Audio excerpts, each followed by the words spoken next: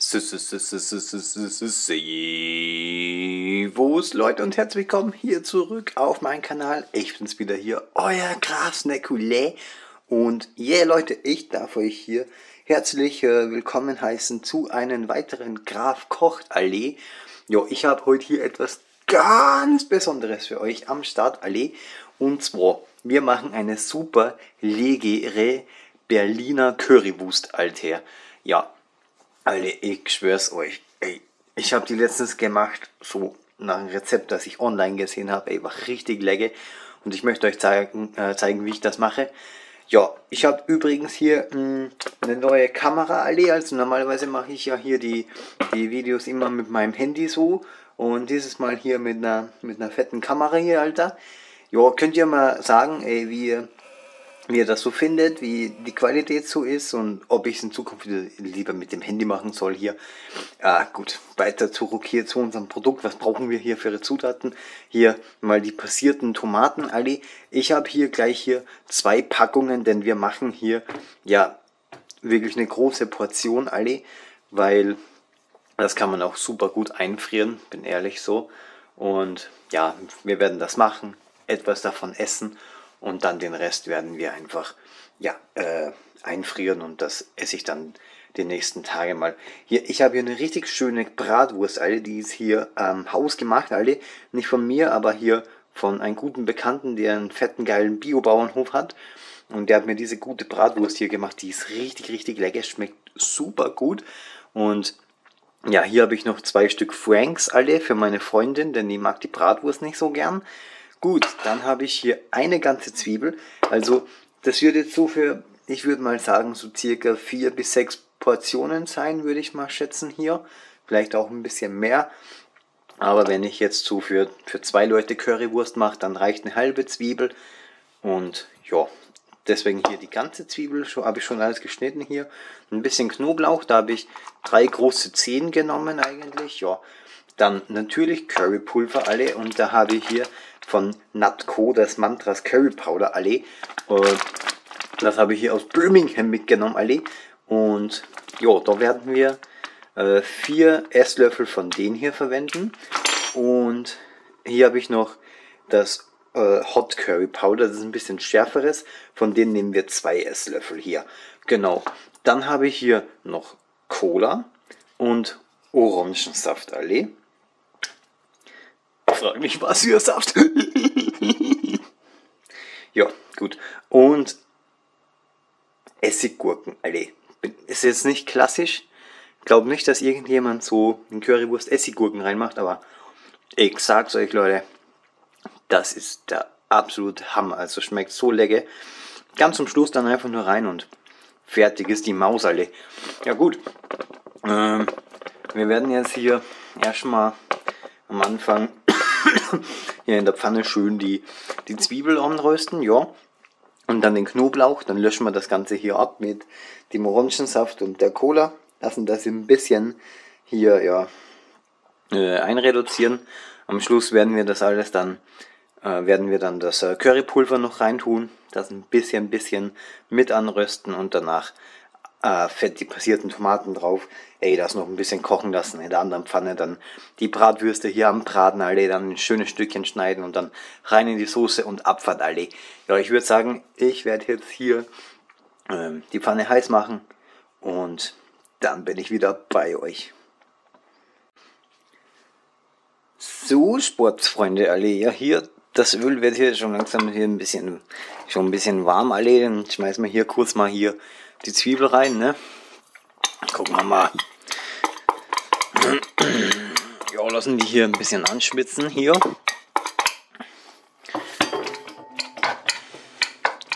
Jo, ich habe die Zwiebeln hier ganz fein geschnitten, ey, wie ihr sehen könnt. Normalerweise mag ich sie ein bisschen gröber, aber hier für die Currywurst, das ist, ist besser, wenn sie, wenn sie schon ein bisschen, bisschen, äh, ja, hier feiner gehackt sind hier. Natürlich gleich mal hier salzen das Ganze schön. Oh, lecker. Ja, hier ist das, das Currypulver. Wie gesagt, vier Esslöffel vom normalen, zwei vom scharfen hier. Schmeckt richtig, richtig geil. Also kann ich euch nur empfehlen hier.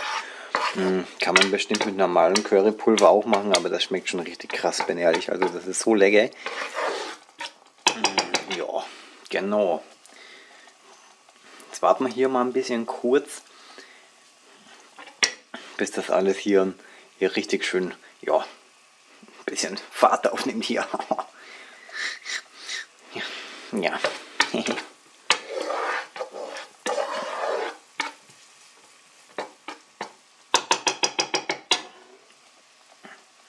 In der Zwischenzeit hier können wir schon mal hier die Kohle aufmachen.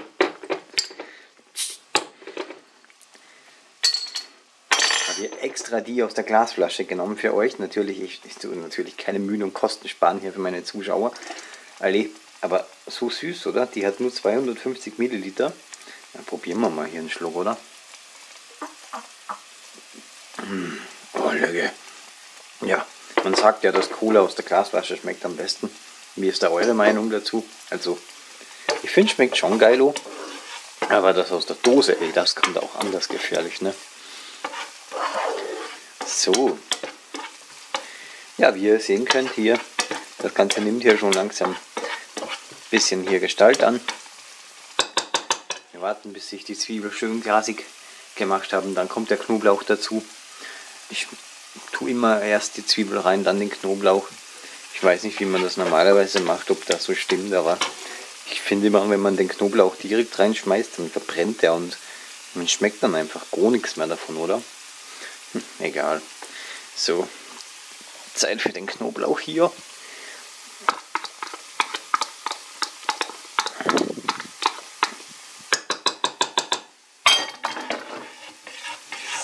So Leute, guckt euch das an, ey.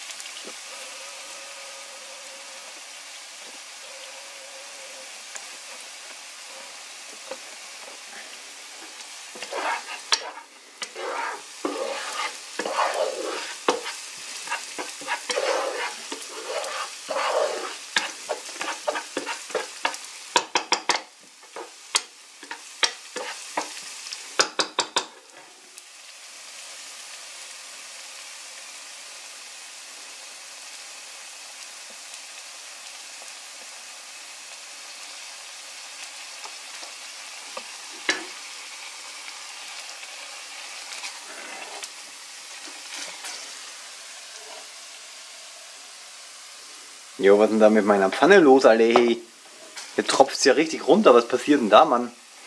ist ja brandgefährlich hier. Alter!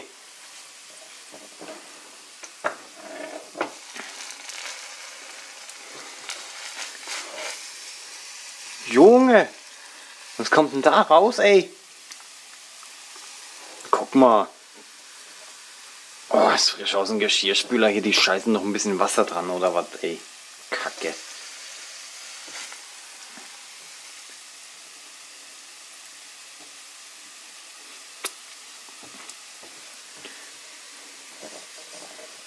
So, passt wieder. Gut.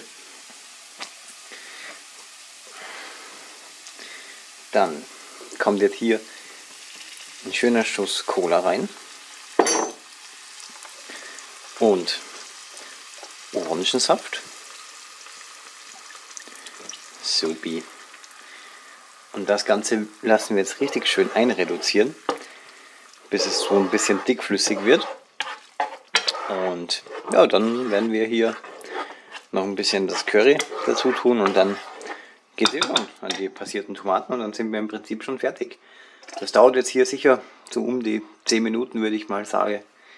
Und ja, ich würde sagen, ich lasse das jetzt hier schön einreduzieren und dann sehen wir uns gleich wieder. So, Alice, ey, guckt euch das an. Hier, das ist jetzt so richtig schön einreduziert und das ist so ein geiles Fundament für eure Soße, ey. Ich schwör's euch mal. So diese, es gibt so eine geile Fruchtigkeit und ja, hier wird schon ganz schön dickflüssig Und man hat auch die Süße dann natürlich drinnen. Hier so ein bisschen Zucker, ey. Hilft ja immer ein bisschen. Und ja, so sieht das Ganze jetzt hier aus. Und da schmeißen wir jetzt unser Currypulver da richtig schön rein. Guckt euch das an, liebe Freunde. Boy.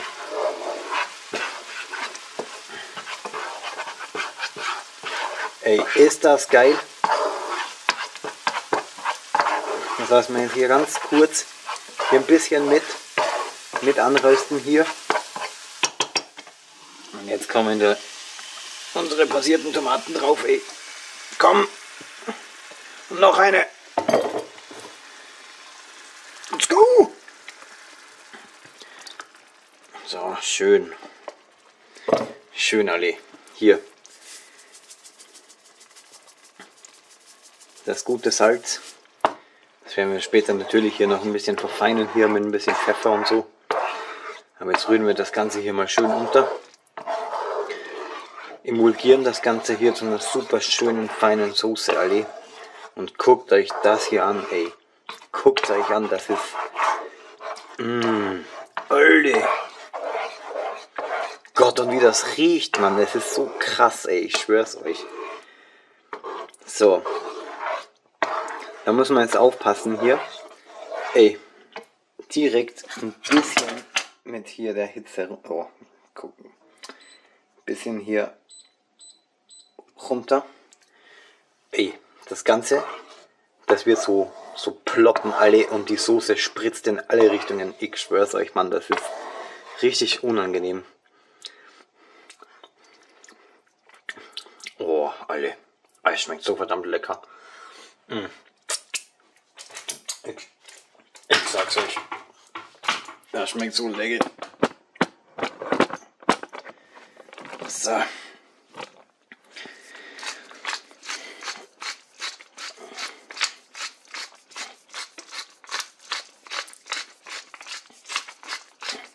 Hier schön noch einen Pfeffer rein.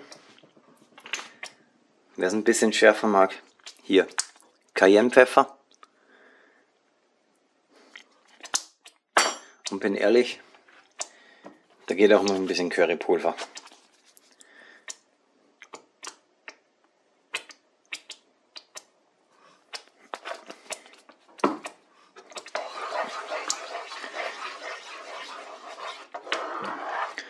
Und jetzt Ganz wichtig, fucking umrühren, ey. Wirklich, sonst schießt euch die Scheiße durch die komplette Wohnung, ich schwör's euch. Das ist explosionsartig, das ist wild. Gut. Ähm, ja, die lasst man jetzt hier, weiß nicht, so, ja, noch eine Viertelstunde oder sowas. Hier noch ein bisschen, hier, ein bisschen, ja, noch ein wenig einreduzieren. Und in der Zwischenzeit kümmern wir uns schon mal hier um die Würstchenallee. Jo, alle, wie ihr sehen könnt, ey, ist das Würstchen hier schon in der Pfanne hier. Habt ihr schon ein paar Minütchen drinnen. Ja, könnt sehen hier, das verfärbt sich hier schon richtig lecker. Dann werden wir hier auch noch gleich die Franks dazulegen. Ja, die brauchen nicht ganz so lang hier wie die große Bratwurst. Deshalb habe ich hier noch ein bisschen gewartet, bis ich die reingetun habe. Reingetun habe, reintat.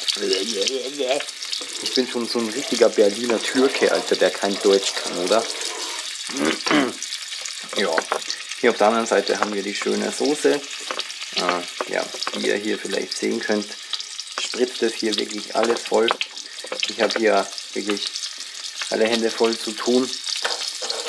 Und ja, wir geben jetzt hier noch die schönen Spreewaldgurken rein. Natürlich nur das allerbeste.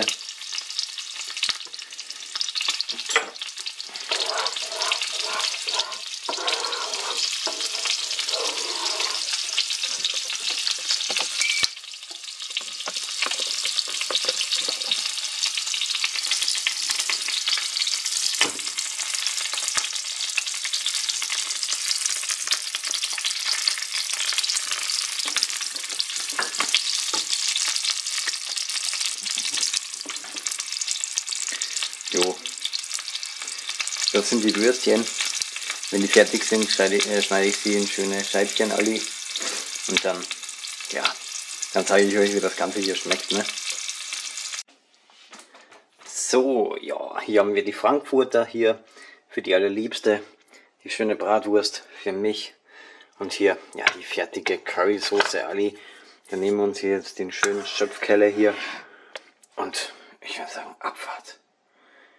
Schön drauf. Mmh, Ali. Ja, hier auch nochmal. Let's go. Und dann gucken wir mal. Schön mit der Gabel. Bisschen schauen hier, wie es denn so schmeckt, ja. Dann würde ich sagen, hier, guten Appetit, ne? Nehmen wir das Würstchen und let's go. Mm.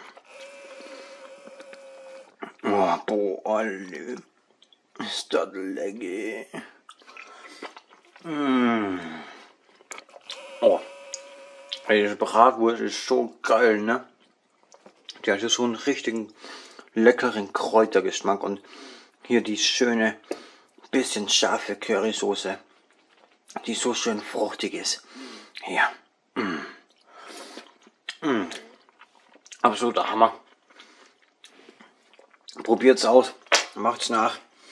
Schreibt mir dann, wie es euch geschmeckt hat. Schreibt mir, wie euch das Video gefallen hat. Und ich bedanke mich wie immer fürs Zusehen. Wünsche euch noch einen schönen Tag. Bis zum nächsten Mal. Euer Kraft Nicolai. Yeah.